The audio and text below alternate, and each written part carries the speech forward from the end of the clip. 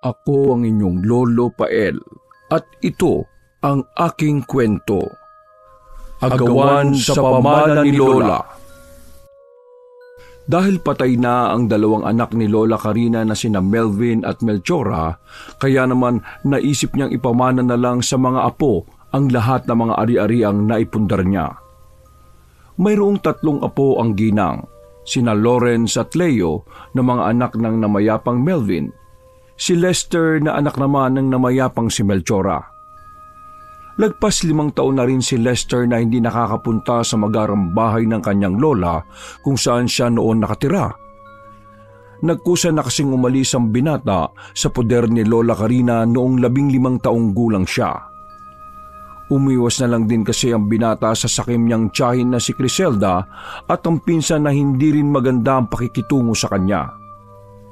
Kaya nang hapon na yun ay hindi alam ni Lester kung dapat niya bang ikatuwa o hindi na. Nakatayo siya ngayon sa harapan ng magarang bahay ng pinakamamahal niyang lola. Sa katunayan kasi, mismong si Tia Criselda ang kumontak sa kanya dahil sa hiling ni Lola Karina. Hindi na kasi maganda ang kalagayan ng matandang ginang. Nakaratay na lang ito at inaalagaan ng mga doktor habang tila naghihintay na lang din ng kamatayan. Napabuntong hininga ang matangkad at morenong binata bago hawiin ang kulot niyang buhok habang tinatanaw ang magarang bahay ng kanyang lola. Saglit niyang inalala ang dating itsura ng bahay mula sa labas kapag tinitingnan nila itong magpinsan noong mga panahong malapit pa sila sa isa't isa. Sumagi rin tuloy sa isipan niya kung paano siya tratuhin ng tiyahin niyang sakim. Noon kasing namatay ang mga magulang ni Lester ay bigla na lang nagibang pakikitungo ni Tia Criselda sa kanya. Madalas na siyang napag-iinitan at kung minsan ay nakakaranas pa siya rito ng lihim na pagmamaltrato.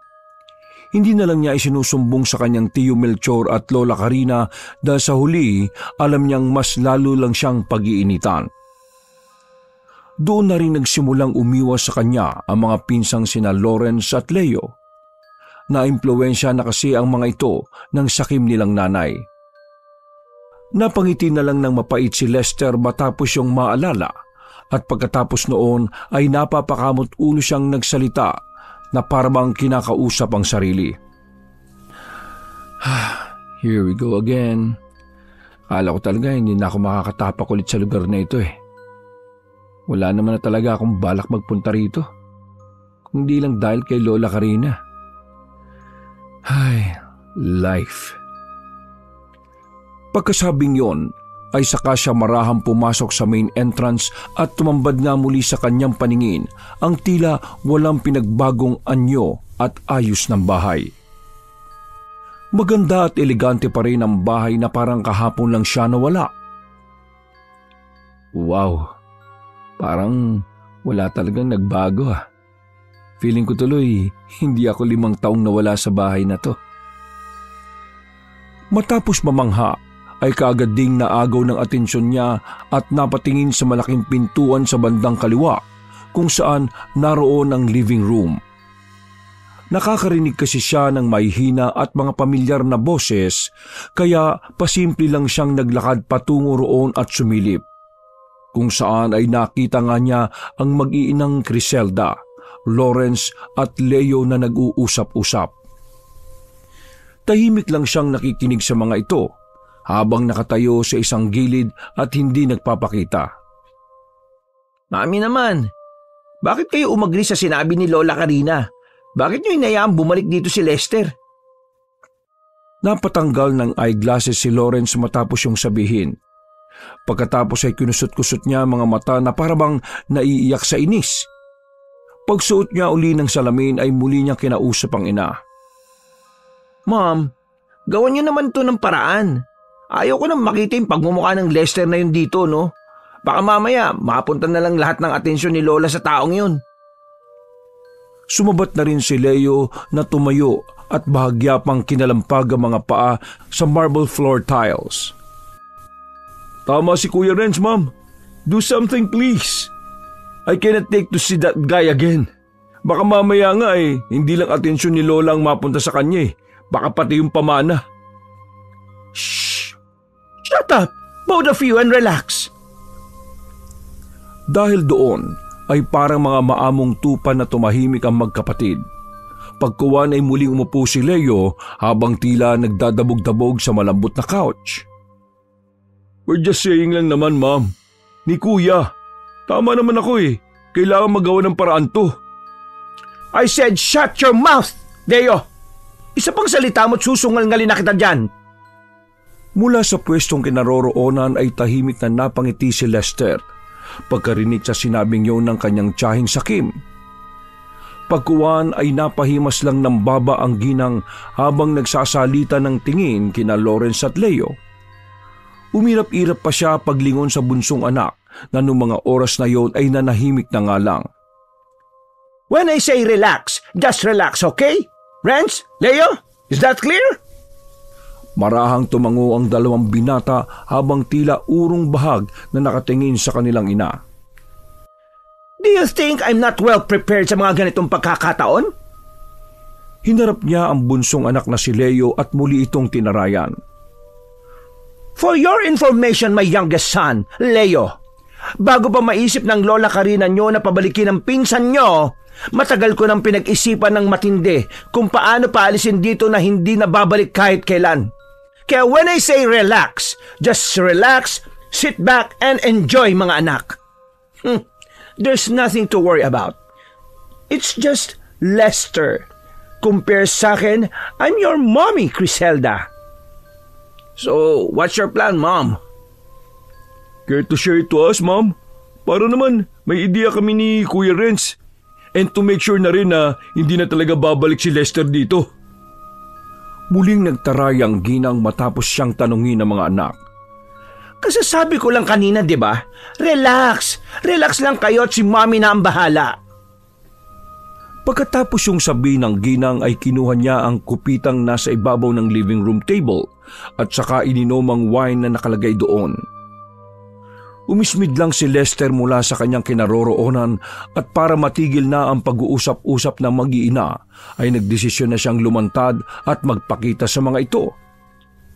Kitang-kita ng binata sa mga mata ng kanyang tiyahin at mga pinsan ang pagkainis matapos siyang makita kaya naman nginitian niya ang mga ito na parang nang aasar pa. Good afternoon, Tita Criselda. Pagkamano niya sa ginang ay napaismid dito at napairap. Ang magkapatid naman ay sinamaan lang siya ng tingin. Pagngiti lang ang iginanti ng binata sa mga ito, kaya mas lalong nainis ang kanyang mga pinsan na kitang-kita sa reaksyon ng mukha ng mga ito. Oh, nice to see you again, cousins. Pagkatapos ng kumustahan ay humarap siya sa mag-iina bago lakas loob na nagsalita. I just want you to know guys na I am here to take care of Lola Karina since she requested me. So, makakasama niyo ako until na gumaling siya. Tatalikod na sana siya pero naisip pa ng binata na asarin ang kanyang mga kamag-anakan kaya nagpatuloy siya sa pagsasalita. But I was thinking na magstay na ulit dito for good kung papayag si Lola. Na feeling ko naman eh, papayag yun talaga. So, welcome back to me! Eksaktong pagkasabi niya noon ay dumating naman ang isang kasambahay at kinuha na nga ang mga gamit na dala niya. O paano? Maiwan ko muna kayo. Pupuntahan ko lang si Lola. See you later, tita, cousins.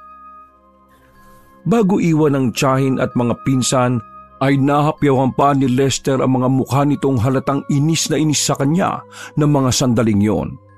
Kaya naman abot langit ang ngiti niya habang palabas ng living room. Pag-akyat ng binata sa silid ng kanyang lola ay naabutan niya yon na pinaiinom ng gamot ng personal nurse nito. Hindi kaagad siya lumapit. Hinayaan niya lang muna na matapos at nang lumabas na ang nurse sa kwarto ay saka siyang umiti at kumaway dito. Hindi maipinta ang mukha ni Lola Karina pagkakita sa kanyang apo. Halos mapaluha naman si Lester subalit pinigil niya ang sarili dahil naisip niyang baka makasama pa yon sa lagay ng matandang babae. Hindi rin maiwasan ng binata na mag-alala ng gusto matapos makita ang malaking pagbabago sa kanyang lola. Nangangayayat kasi ito ng gusto. Nang nasa tapat na ang matandang ginang, ay kaagad siyang nagmano at yumakap dito. O Lola, nangayayat yata kayo.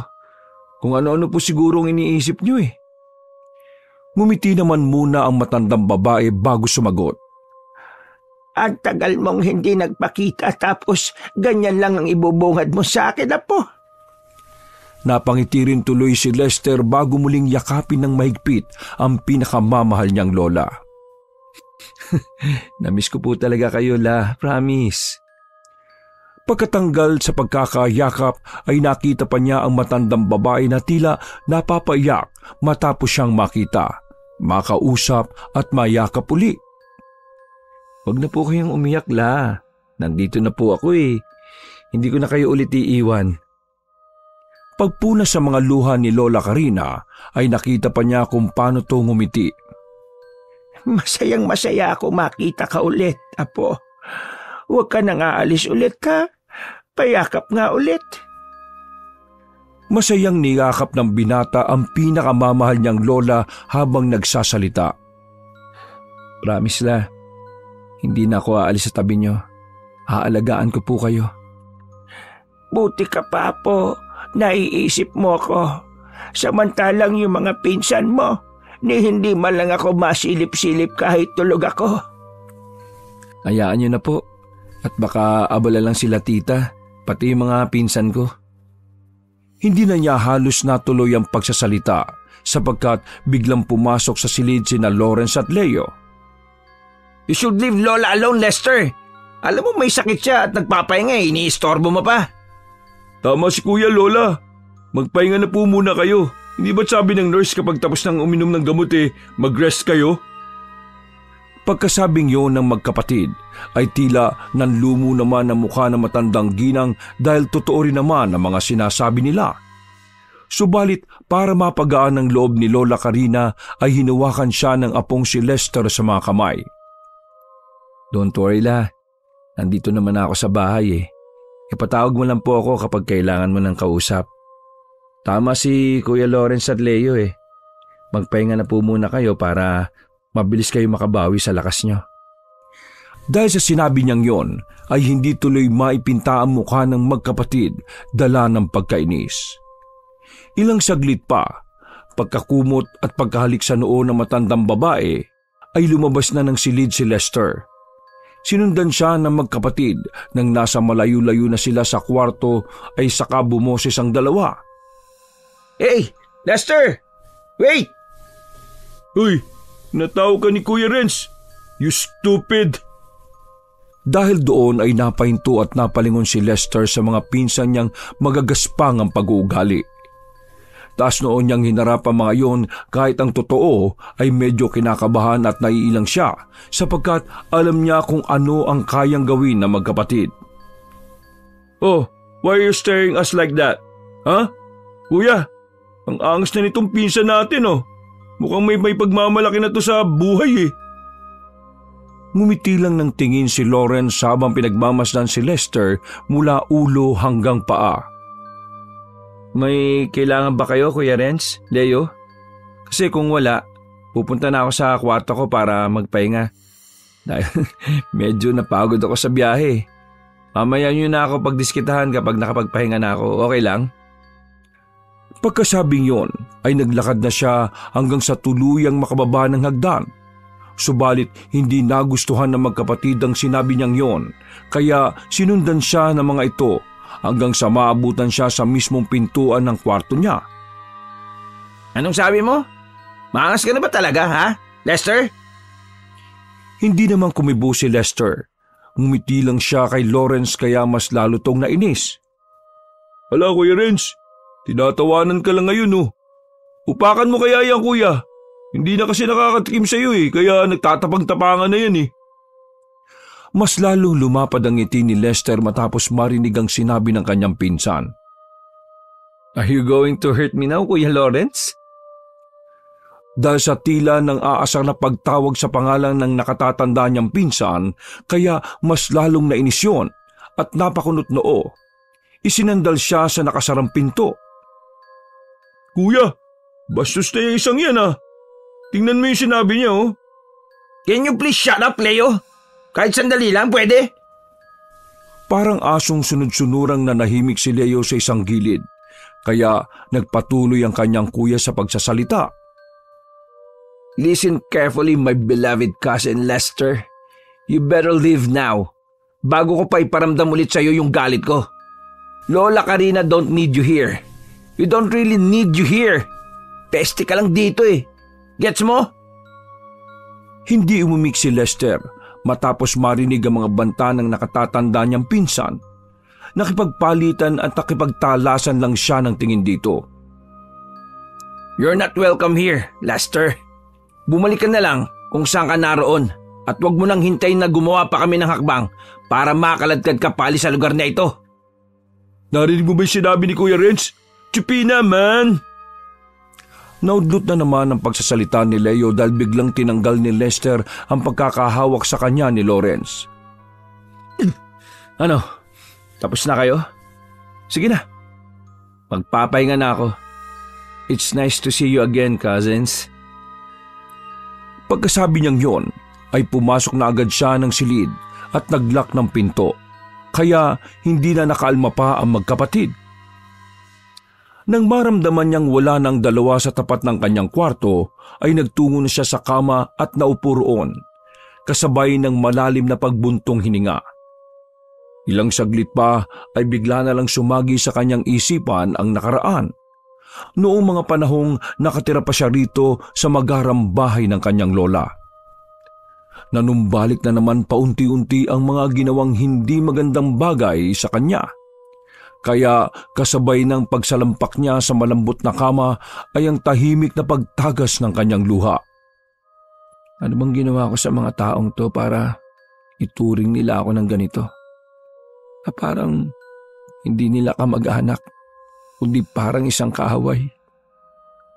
Matapos siyang magpahid ng mga luha ay bigla siyang napatihaya at napatingin sa kisame. Hindi ko talaga pwedeng iwan si Lola Karina rito na mag-isa. Kahit anong mangyari, kahit anong gawin nilang pagbabanta, hinding hindi ako aalis hanggat hindi gumagaling si Lola. Pagkasabing yon ay pumikit na siya hanggang sa makatulog ng mahimbing. Pasado alas 7.30 ng gabi, nagising si Lester at tumiretso sa dining room para maghapunan. Naabutan niya si Tita Criselda, Lawrence at Leo na kumakain na kaya umupo siya sa pinakadulo kaharap ng sakim niyang tiyahin. Kitang-kita ang pag-iiba ng reaksyon ng tatlo matapos siyang makita pero hindi niya pinansin ang mga ito. Nagsandok lang siya ng makakain bago manalangin ng pasasalamat sa Panginoon. Lord, thank you for this food. Amen. Nang susubo pa lang siya ng pagkain ay biglang padabog na ibinaba ng ginang ang hawak nitong kutsara at tinidor bago siya kinausap. Who gave you the permission na sumabay sa pagkain namin, ha? Ngumiti lang si na Lawrence at Leo na may halong pangasar habang pinagbamasda ng kanilang pinsan. Subalit hindi kumibo si Lester. Kumain lang to ng tahimik na parabang hindi narinig ang sinasabi ng kanyang tiyahin. Dahil doon ay mas lalong nainis si Tita Criselda, kaya mas lalo nitong nilakasan ang boses. I said, who gave you the permission, Lester? Oy, stupid! Nakausap ka ni Mami, oh. Such an idiot. Saglit na natigilan ng binata at tumarap sa kanyang tiyahin na namumula-mula na ang mukha sa galit. Pagkadaka ay saka siya tumugon na parabang nang aasar. Oh, what's wrong Tita Criselda? Namumula ka po oh. Marami ka na yatang nakain eh. Better not to eat too much. Uso po ang stroke and heart attack. Hindi naman po sa pag-ano ha. Baka mauna pa kayo niya kay Lola Karina. Muling sumubo ng pagkain ng binata pagkalaon at dahil doon kaya mas lalong umusok ang tenga ng ginang pati ng mga anak nito. Ah, ang kapal ng mukha mong sabihin yan. Walang hiya ka. Wala ka respeto kay mami ah. Kuya, bigyan mo nga ng isa para madala. Ngumiti lang si Lester sa kanyang tiyahin at mga pinsan bago tumayo at magsalita ulit. Easy, easy guys. Nasa gitna tayo ng hapagkainan no? If you want respect, Tita Criselda, please, you should also learn to respect, lalo na sa harap ng hapagkainan. Dahil sa mga sinabi niyang yon, ay mas lalong namula sa galit si Tia Criselda. Nagitla naman ng magkapatid kaya hindi agad sila nakaalma sapagkat ito ang unang pagkakataon na sumagot ng pabalang si Lester sa kanila. Sinabi mo? Hindi na natuloy ng ginang ang kanyang sinasabi dahil malakas na kinalampag ni Lester ang dining table na ikinagulat nilang lahat. Matapos matahimik na mag-iina ay saka muling nagsalita si Lester. Kita sa mga mata niya ang hinahon pero damang-dama naman sa pananalita niya ang matinding determinasyon at galit. Kanina, narinig kong lahat ng mga pinagsasabi niyo laban sa akin.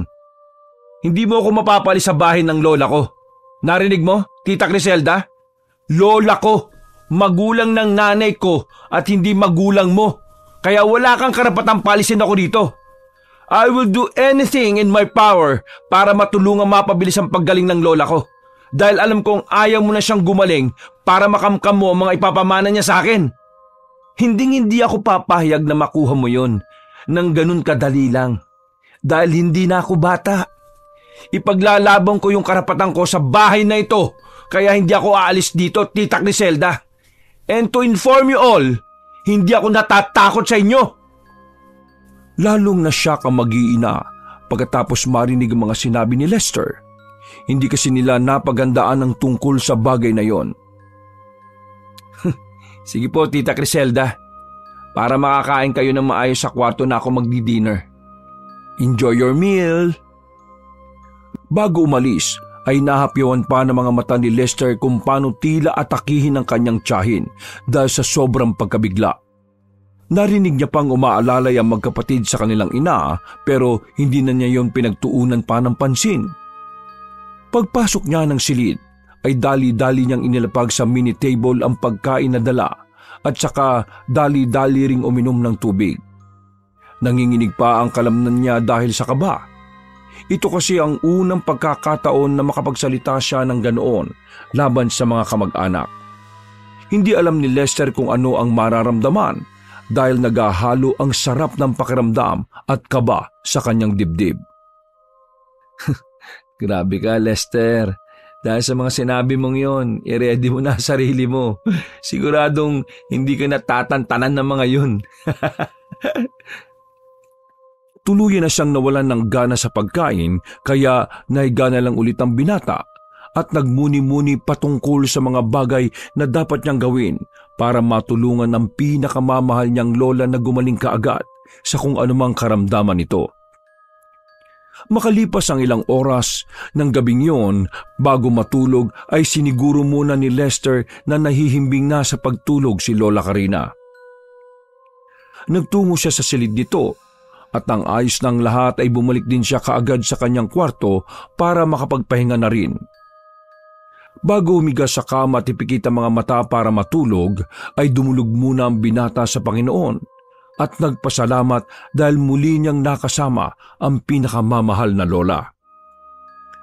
Pasado alas 10 na ng gabi nang siya ay makatulog, subalit naalimpungatan din ang binata matapos makaramdam na tila may madulas na malaking bagay na gumagapang sa kanyang higaan. Pagbukas ng switch ng ilaw ay doon na nga tumambad sa kanyang paningin ang dalawang naglalakihang sawa. What the... Bakit nagkasawa dito? Napahayaw din siya ng malakas dala ng takot at saka dali-daling tumakbo para lumabas ng kwarto. Subalit hindi niya mabuksan dahil parang may nakaharang sa labas ng silid. Langyang yan, anong gagawin ko? Kinuha niya ang isang stainless na upuan at saka niya pinaghahampas ang doorknob hanggang sa masira nga ito. At bago pa makarating sa kinaroroonan niya ang mga sawa, ay nakalabas na nga siya. Takot at pawis na pawis siyang naglakad papunta sa living area hanggang sa makita niya magkapatid na nakatambay doon at nagtatawanan. Pagkakita sa kanya ng mga yon, ay bigla nilang hininaan ang tawanan. Napakunot-no tuloy si Lester bago kausapin ng dalawa. Seriously? Ha? Kuya Renz, Leo?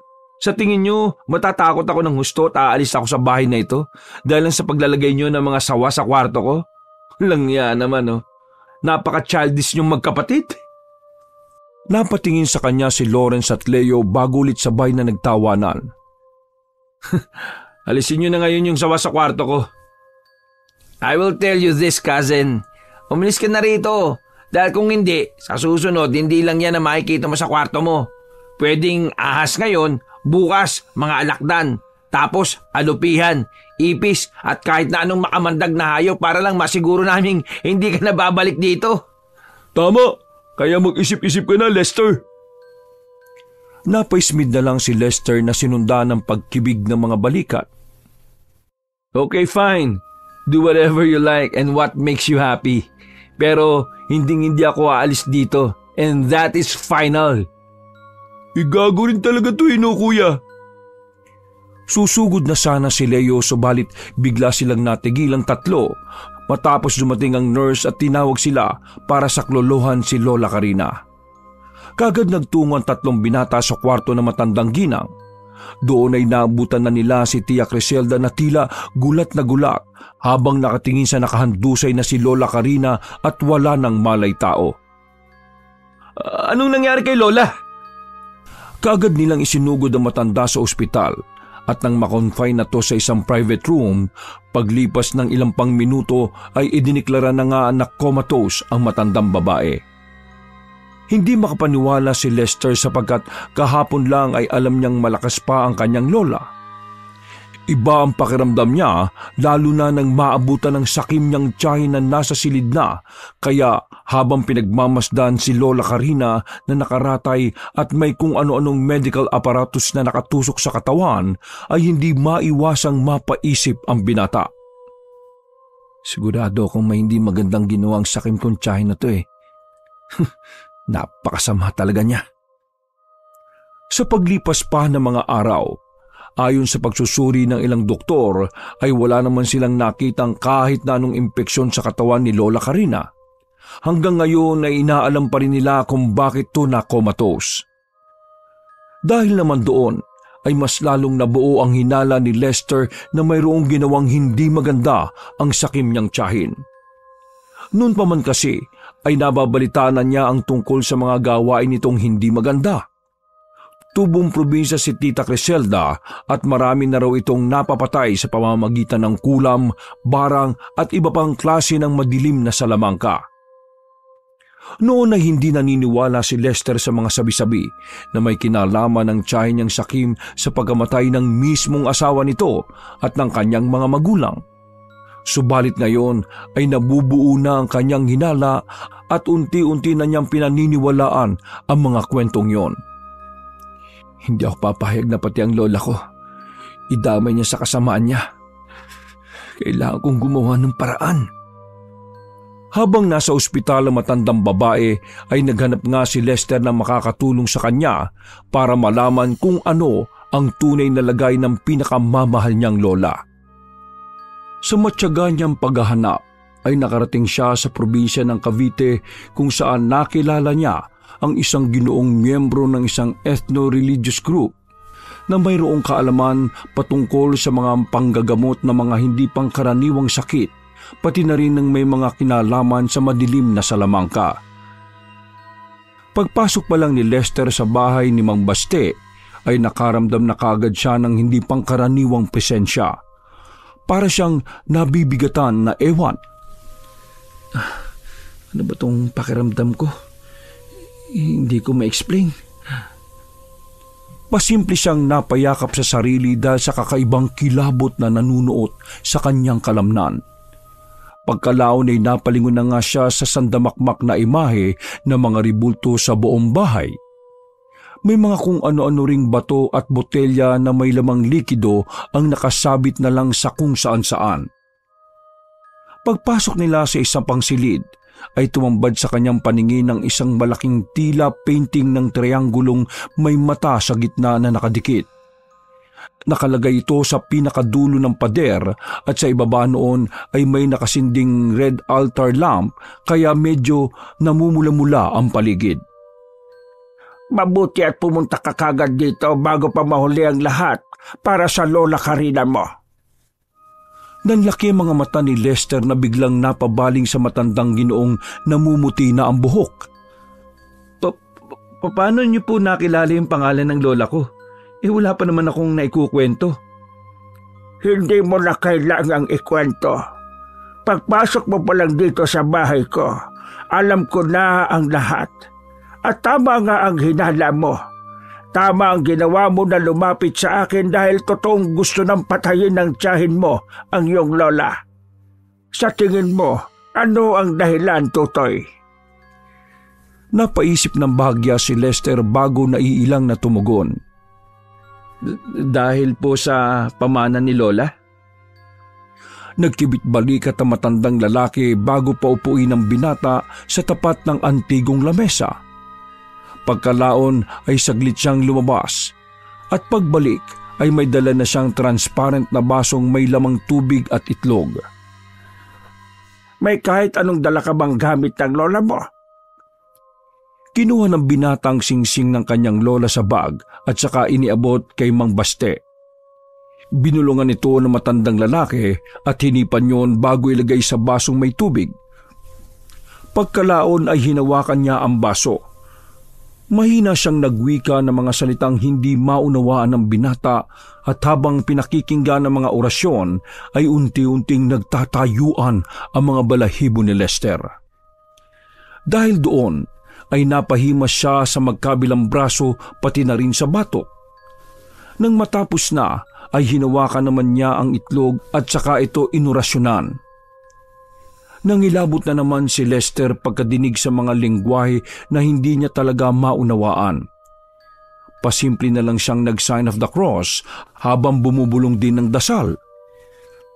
Lord, sana magising at gumaling na si Lola Karina at mapagbayaran na ni Tita Criselda ang ginawa niya kung totoo man talaga yun. Ilang saglit pa matapos ang orasyon ay saka biniyak ng ginoo ang itlog at inihulog sa basong may tubig. Hinawakan at tinakpan niya rin kagad ang baso para hindi muna makita ng binata ang resulta. Bago natin simulan ang pagbabasa at pagkiklensing, ipapaliwanag ko muna sa iyo para mas maunawaan mo kung paano to gumagana. Tumuhutangulang ang binata mula sa kanyang kinauupuan, kaya nagpatuloy si Mambaste sa pagsasalaysay. Nagiging epektibo lang to kapag may formal o tamang orasyon. Pwede mo tong gawing mag-isa kapag praktisado mo na ang orasyon. Pagkatanggal ng ginoo sa pagkakatakip ay umalingaso kaagad ang napakabahong amoy na parang pinaghalo-halong nabubulok na bagay. Dahil doon ay napatakip ilong si Lester habang naluluha ang mga mata.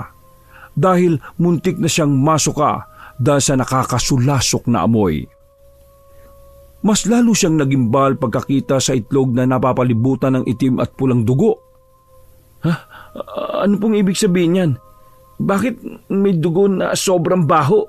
Nakakasuka. Hindi nga napigilan ng binata ang masuka pero hinayaan lang siya ng ginoo at binigyan na lang ng panyo para magtakip ng ilong.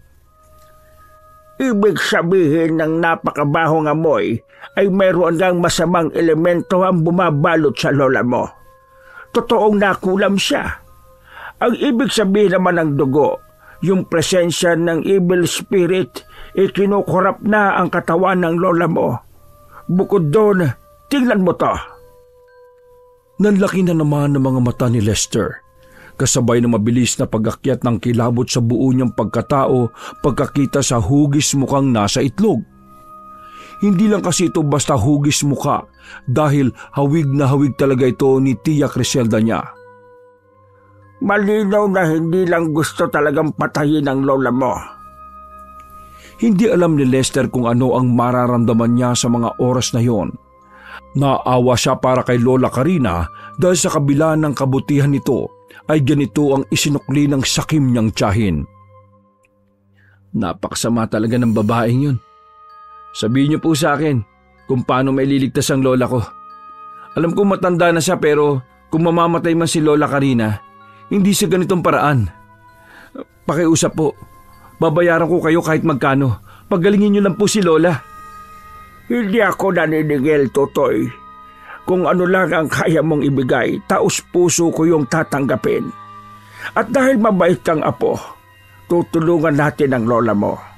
Kahit medyo mabigat ang ginawang kulam sa kanya dahil kinukurap na ng masasamang espiritu ang kanyang kaluluwa. Naku, maraming salamat po, Manong Baste. Huwag ka munang magpasalamat na hindi pa tayo nagsisimula. Itatabi ko muna tong itlog dahil mamaya gagamitin natin yan para mapatunayan mo mismo sa sarili mo na totoo ang mga ito. Saglit na lumabas ng silid ang matandang ginoo at pagbalik niya ay may dala na itong mga kandilang itim at trianggulong agimat na kulay itim. May simbolo to sa gitna. Kulay puting mata na mayroong sinag. Ilang saglit pa ay sinindihan na nga ni Manong Baste ang tatlong kandilang pinahugis trianggulo niya. Sa gitna noon ay nilagay niya ang agimat na hawak bago balingan ang binata. Kung ano man ang maririnig at makikita mo, huwag na huwag mong papansinin.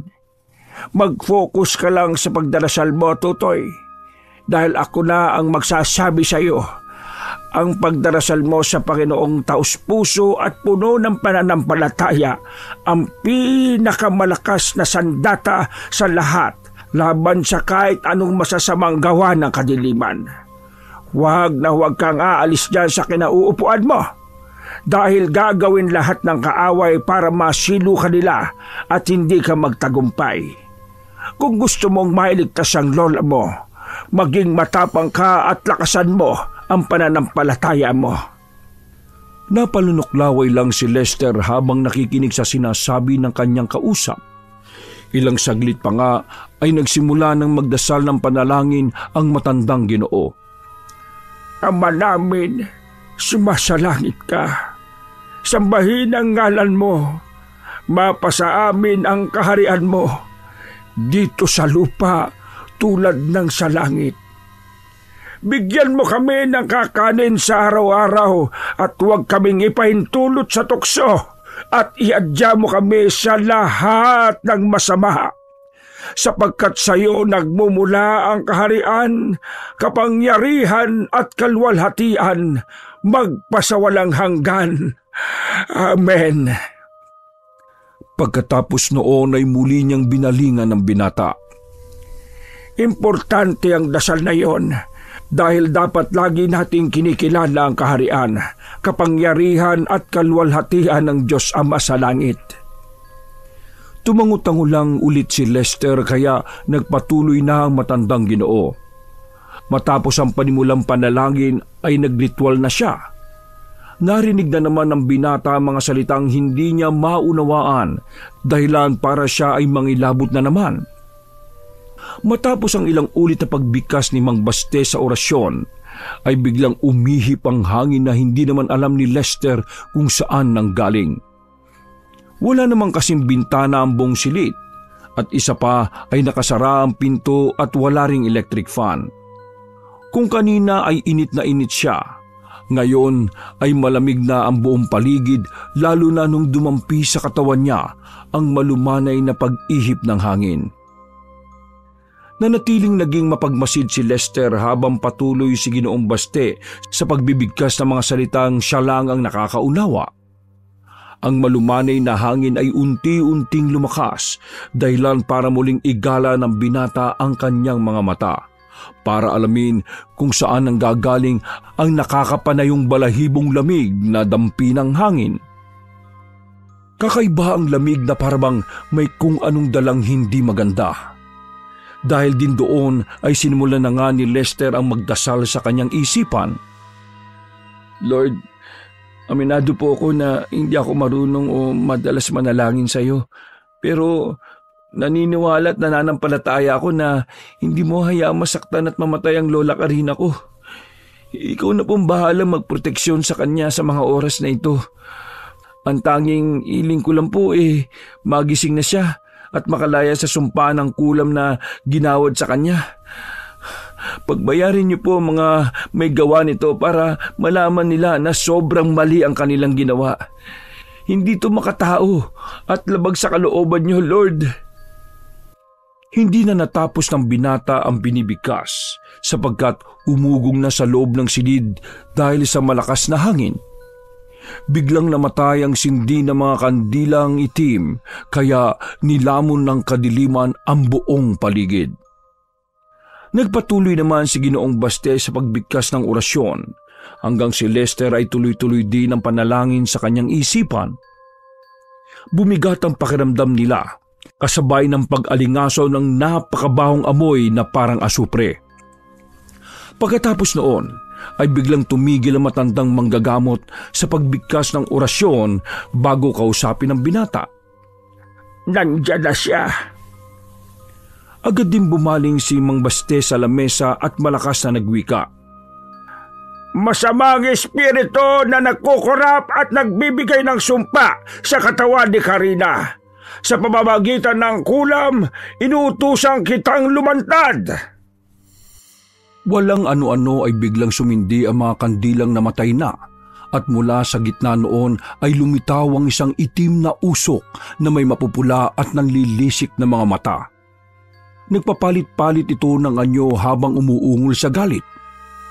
Pagkakita roon ni Lester ay pinanayuan na naman siya ng balahibo dahil sa takot sapagkat sa buong buhay niya ay ngayon lang siya nakakita ng ganoong bagay – hindi siya makapaniwala sa kanyang nakikita. Mag-focus ka at manalangin. Kahit anong gawin niyang panlininlang, huwag mong papansinin. Tila nagising sa uliratang binata matapos ipaalala na matandang manggagamot ang mga yon. Tahimik nga siyang nananalangin habang nakatunghay sa itim na usok na may nanlilisik na mga mata. Sinubukan ng itim na usok na salakayin si Manong Baste Subalit tila nakulong to sa bawat sulok ng patriangulo na pwesto ng mga kandila. Ngayon, masamang espiritu, ibabalik na kita kung saan ka nang galing, pero kapag nagpumilit kang manlaban, tutunawin kita ng agimat na nasa ilalim mo. Nang mapalingon ng itim na usok sa nasabing agimat, ay tila ba pilit siyang kumakawala sa pagkakakulong hanggang sa unti-unti na nga siyang gumawa ng mga imahe ng tao na ikinagulat naman ni Lester. Kinopya ng itim na usok ang itsura ng kanyang yumaong ama. Umiyak ito ng umiyak at nagmamakaawa pero katulad ng sinabi ni Manong Baste ay sinikap ng binata na hindi to pansinin. Nang hindi na umubra, ang ginaya naman ito ay ang imahe ng kanyang ina na si Milchora na matagal na panahon na rin pumanaw. Nagmamakaawa rin yon sa kanya habang pilit na kumakawala sa pagkakakulong sa triangulo. Pagkakita naman ng binata sa kanyang ina ay bigla na lang siyang napaluha. Miss na miss na rin talaga niya kasi ang kanyang mga magulang kaya lang ay alam niyang matagal nang patay ang mga ito. Kaya kahit nasasaktan ay ginawa niya ang makakaya niya para hindi matukso na pakawalan ito. Dahil doon, ginaya naman ng itim na usok ang mukha ng pinakamamahal niyang Lola Karina. Naninikluhod din ito at nagmamakaawa kay Lester. Baste, Apo, tulungan mo ako. Ang totoong nagpapahirap sa akin ay hindi ang tiyak Griselda at ang mga pinsan mo, kundi ang taong kasama mo ngayon. Siya ang dahilan kung bakit ako nakaratay sa banig ng karamdaman. Tulungan mo ako, Apo. Papatayin ako ng taong yan! Masama siya! Masama siya! Natulala at napaluha na lamang si Lester pagkakita sa imahe ng kanyang lola na tila nahihirapan sa mga nangyayari. Subalit katulad ng sinabi ng manggagamot, kailangan niyang tibayan ng loob para hindi masilo ng kaaway na nagpapanggap. Hindi! Hindi ka totoo! Tumigil ka! Pagkalaon ay pumikit na lang siya at nagpatuloy sa pananalangin dahilan para magalit ang itim na usok na nag-anyong si Lola Karina. Wala kang utang na loob na bata! Dapat lang talagang lumayas ka sa bahay ko. Wala kang kwenta. Nahihirapan na lola mo. Ayaw mo pang tulungan. Kapag ako'y namatay at hindi na nagising, kasalanan mo ito. Habang buhay mong pagsisisihan ng pagkawala ko. Nanatili lang na nakapikit si Lester at pilit na hindi pinapansin ng mga sinasabi sa kanya. Umalis ka na noon at hinayaan mo akong mag-isa. Pagkatapos kitang kupkupin ng mamatay ang mga magulang mo. Ganito lang ay susukli mo sa akin. Dapat hindi ka na bumalik. Hindi na kita ituturing na po simula ngayon. Wala kang kwenta, Lester. Wala kang silbi.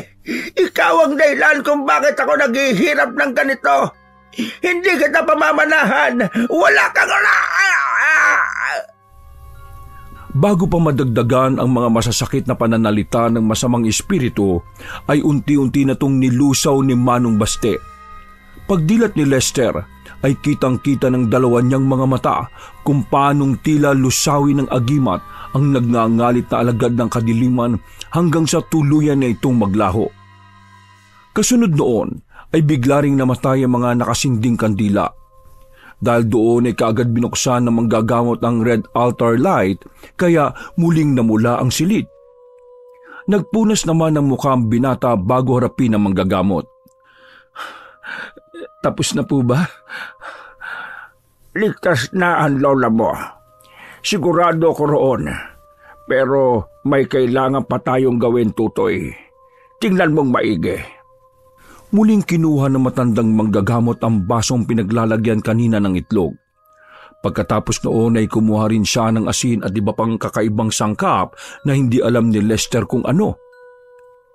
Muling bumulong ng orasyon si Manong Baste. Habang nakatunghay ang binata, ilang sandali pa nga ay binudbud niya ang asing inorasyonan kasamang iba pang sangkap. Hinalo-halo niya yun pagkalaon. Uh, ano pong ginagawa niyo, Manong? Ngumiti muna ng tipid si Manong Baste bago tumugon.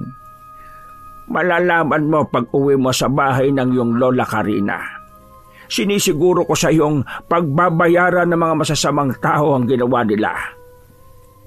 Matapos magpasalamat at magbigay ng kaunting tulong ay nagbiyahe na nga si Lester papunta sa ospital kung saan nakakonfine si Lola Karina. Eksakto na pagdating niya sa room nito ay naabutan niya mga nurse at doktor na naroon at tuwang-tuwa dahil nagkamalay na ulit ang matandang babae. Hindi naman napigilan ng binata ang pag-iyak pagkakitang mabuti na ang lagay ni Lola Karina. Mas lalo pang nagalak ang binata pagbalita sa kanya ng doktor na malayo na ito sa panganib.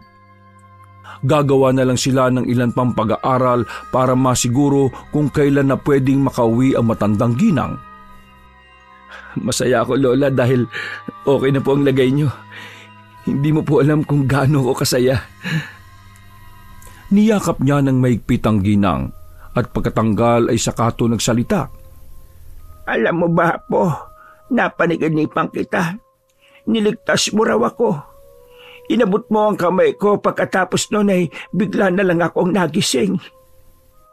Naluha na naman si Lester pagkarinig ng sinabi ni Lola Karina kaya niyakap na naman niya ito ng maigpit. Ilang saglit pa, pag-alis ng mga nagsusuri, ay napatingin ang binata sa paligid. Nasaan po si Tita Criselda? O yung mga pinsan ko? Bago po kasi ako umalis eh, binilin muna kita sa kanila eh. Hindi ko rin alam. Pagkagising ko, ikaw na lang ang naabutan ko. Napag-alaman nga nung umalis siya at ibinilin sa tiyahin at mga pinsan si Lola Karina ay wala raw kahit isang nagbantay doon. Kaya kinabukasan ng umuwi siya sa bahay ay laking gulat niya sapagkat hindi na rin maganda ang kalagayan ng kanyang tiyahin. Punong-puno ng mapupulang butlig ang palibot ng katawan nito at hindi na rin makalakad. Ayaw namang asikasuin ni na Lawrence at Leo ang kanilang ina dahil sa pandidiri kaya si Lester na mismo ang nagdala sa ginang sa ospital kung saan nakakonfine si Lola Karina. Sa kasamaang palad, isang linggo ang nakalipas, eksaktong araw ng paglabas ni Lola Karina sa ospital ay binawian na rin ng buhay si Tia Criselda. dahil doon ay nalugmok ng husto ang magkapatid. Lalo na nang inilahad na ng matandang ginang sa kanyang mga apo ang kanyang mga ipapamana. Sapagkat maliban sa magarambahay na napunta sa magkapatid na Lawrence at Leo, ang lahat ng ari-arian ni Lola Karina ay ipinamana niya kay Lester bago siya mamatay. Isang taon nang nakalipas, nang mamatay si Lola Karina sa katandaan ay muling nagkita-kita ang magpipinsan sa mismong magarambahay na matandang ginang. Yun na ang naging huli nilang pagkikita dahil pagkalibing ng kanilang lola ay napagdesisyon na, na ng bawat partido na putuli na nga ang kanilang ugnayan kahit na kailan. Wakas!